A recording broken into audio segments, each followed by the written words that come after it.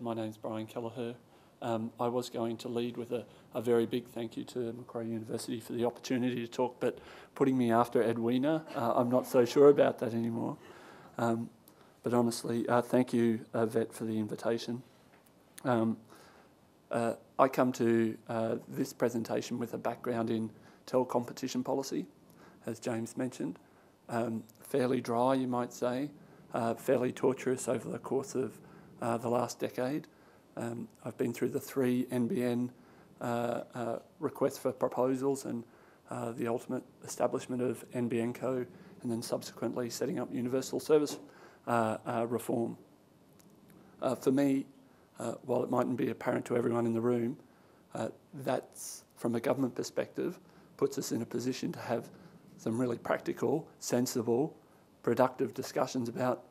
So we've got ICT it's available in the marketplace. What are we going to do with it? And uh, there's a lot of things we're going to do with it.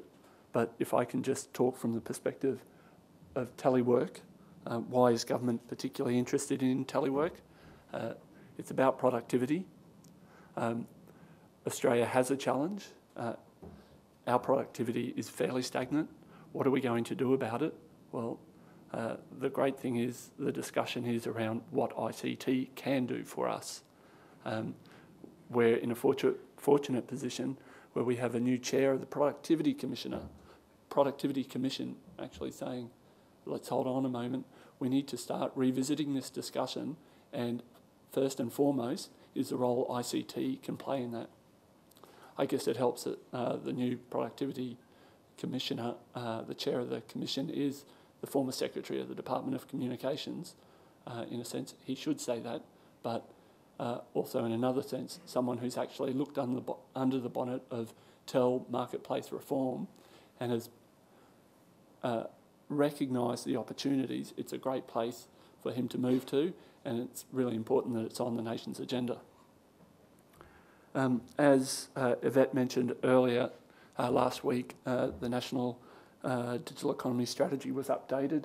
Uh, we have a number of priorities. Um, uh, I won't step through all of those for you, but increasing telework to 12% is one of those.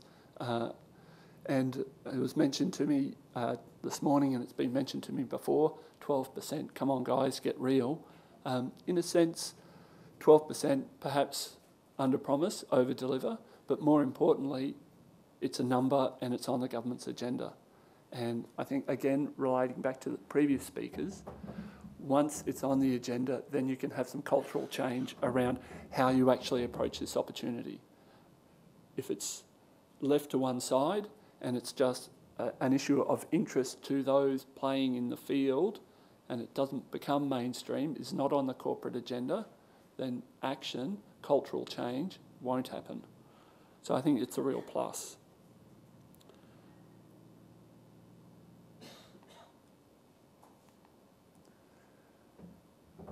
So where are we in, in, in terms of putting it on the agenda? Well, we've got points like this making its way into the media now. That we've got to do something about the way we live. We've got to work cleverer. We've got to make use of this ICT. Um, again, I won't go through the whole quote for you. What are the benefits? The benefits uh, yes, they've been demonstrated. Numbers have been put against these. I'll repeat some numbers again this morning. Um, I don't think there's any harm in continuing to make the case and demonstrate the benefits. Putting numbers around things, quantifying things is really important. Um, when you have cultural change, people start seeing telework in the workplace. It's coming. It is put on the agenda. You need the numbers beside it. That's where the traction comes. So we see a lot of change, uh, a lot of benefits across a range of fields. Um, what we're also seeing is uh, uh, changes for different parts of the community. For government, for public servants like me, our interest is not in the short term, our interest is in the long term. We've got some long term issues on the horizon and they're approaching. And across the public service, these are the points that we're wanting to grapple with the use of ICTs, the use of telework, or the integration of telework will be one of the strategies. And again, some moderation on, at least within the public service, when we talk telework, it's a strategy. Uh, I don't think anyone in the room would suggest it's a silver bullet. Some moderation of how we use it, how it connects in with other strategies is really important. Um, is the public service getting the message? it, it is. Uh, we're in a fortunate position of, of being able to um, uh, uh, take government to what's happening in the corporate space as well. We've got Medi, uh, Medibank saying there's 16% higher rate of retention through the use of telework. We've got the CBA saying there's 20% reduction in desk space requirements. I can't use my Cisco data point, that's already been taken, but I also have a, a couple of further ones. Microsoft is talking about accommodation uh, savings in the order of 25%. Um, uh, we've got uh, a government agency, the leader in terms of, the, at least at the level, IP Australia, saying it's solved its uh, uh, uh, investment problem in its workforce, i.e., skilling a lot of very trained, highly skilled patents examiners, trademarks examiners, and design examiners, and then losing them the introduction of telework is one way of keeping those staff in your organisation. Um, just conscious of time, I'll step to what we're doing in, in terms of government action. Uh, the government commissioned uh, is, is doing a number of things, and hopefully you're aware, aware of telework.gov.au and uh, the material uh, on that site to support uh, uh, uh, engagement with, I think in the first instance, it's been engagement with this idea of telework. we're looking to move that forward, and I'll touch on that briefly shortly. but in, just in terms of engagement with telework, we commissioned Deloitte recently to do a return on investment tool, and we're updating that at the moment. And that's essentially a tool where business can go plug in their details about their workforce and then uh, model what benefits in terms of dollars that they can ex uh, expect to see when they introduce a certain amount of uh, telework into the organisation.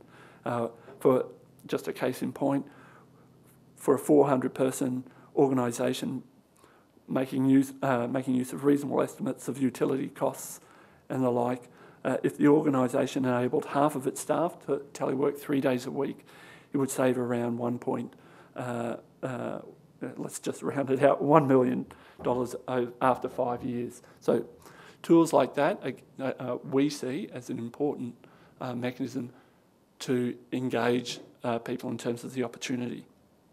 Um, what's another key mechanism? Well, last year it was a telework week, and that was engagement.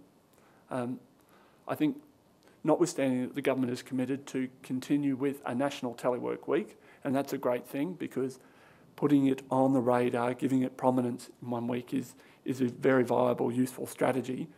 We're transitioning from the week. The week will be a highlight. Activities like this, I think, go to point that it's now a week by week exercise, continuing to put telework on the agenda and discuss its benefits. Um, engagement was one of the angles I suggested about National Telework Week. The second angle is not just the why you should be interested, it's then how you pick it up and run with it. So this upcoming uh, uh, week will be more about here's some tools for how you can make use of telework in your organisation. Uh, we've done some research um, uh, that's available on the website. I won't go uh, into that in any great detail. This is what I'm particularly interested in. Uh, for me, this is what drives cultural change. This is getting management at a corporate level within the APS to sit down and engage with what telework means for each of the agencies. Um, so we have seven agencies that are part of the trial. Uh, we've got some heavy hitters in terms of their clout in a policy sense. So we've got Treasury, Uh, we've got some heavy hitters in terms of the number of public servants involved in some of these agencies. We've got the ABS, the ATO, we've got immigration involved, uh, we've got the Department of Employment, which is great, uh, Department of Broadband, of course, we have to be there. Um, uh, we also have uh, two other agencies that haven't signed up to put their people on the trial. They're sitting and watching us and cracking the whip, you might say. That's the Department of Prime Minister and the Cabinet and the APSC, the Public Service Commission. Uh, they have buy-in. Uh, again, Edwina mentioned people getting buy-in. Well, two of the biggest corporate agencies for the public service are fully invested in this trial. So the trial commenced onboarding people in April. The, that onboarding uh, process will conclude shortly, will run for a minimum of six months and then report to government early in the new year. Um, already agencies are on notice that they'll have to respond to uh, issues such as how many, uh, what positions, or I should correct that, what positions can't be teleworked.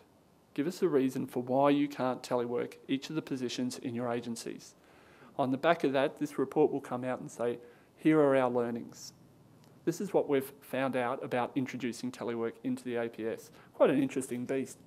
What are the early learnings? Well, it's early days, but one thing I'll touch on is corporate sponsorship, the secretaries of the departments buy in. The second point I'd raise, very practical, is when we bring staff to telework, we don't sit down with the staff member and say, This is what you're doing, off you go, enjoy the trial. It's the staff member, it's HR, it's IT, it's their manager, it's their co workers, it's the project sponsor, all sitting down, going through the skills, establishing protocols.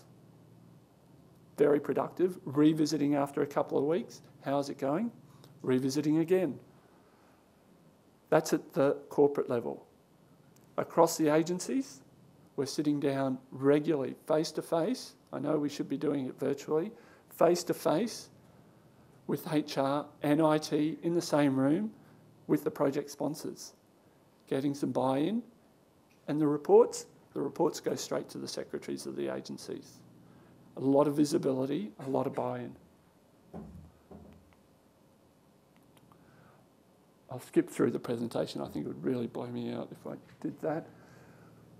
Engagement and facilitation. Um, uh, our hats go off to uh, all of our telework partners. Uh, they're out there spreading the message, gathering data, engaging in research. Uh, Barbara, who's in the room, and if you haven't met, um, uh, uh, I'll introduce you in coffee breaks, is someone you need to get in touch with if you have any interest at all in telework and research. Barbara drives a lot of our partnership networks. We've established four, really about joining people together, finding key topics of interest, and moving from just the why is this important to putting some numbers around it, and then how do you go about addressing these issues? And the how is so important from a policy perspective. Once you've got engagement, you want to say, well, these are your options for how to address it. Another big quote, but importantly, who's saying it? A former chair of, uh, a former secretary of uh, Department of Prime Minister and Cabinet. Um, it was on the radar then, it's on the radar now. We're putting some money into it as well. Um, again, uh, details on our, our website, but government's actually, through these programs, saying let's put some money into giving some uh, collateral to develop skills about how you introduce telework. Um, we're doing a few things in National Telework Week. If you're not already uh, part of the partner network, um, uh, we'd like to find out why not and make you one. Uh, we'll be sending out more and more information in the lead up to the Telework Week later this, uh, later this year. Uh, we're going to be concentrating on a number of things, mainly, mainly about how you take this into your workplace from several angles. What are, what are the issues, challenges that need to be overcome? What skills then people need to have to overcome them? well, um, all pretty good questions, all really important. Uh, hopefully, we're going to uh, hear a lot about that today, uh, the answers to these questions. And uh, there I am. Uh, Nina's uh, back in Canberra. Barbara's in the room. Uh, please look us up. Uh, we'd love to have a chat. Yvette, again, thank you for the opportunity to talk. Thank you, everyone.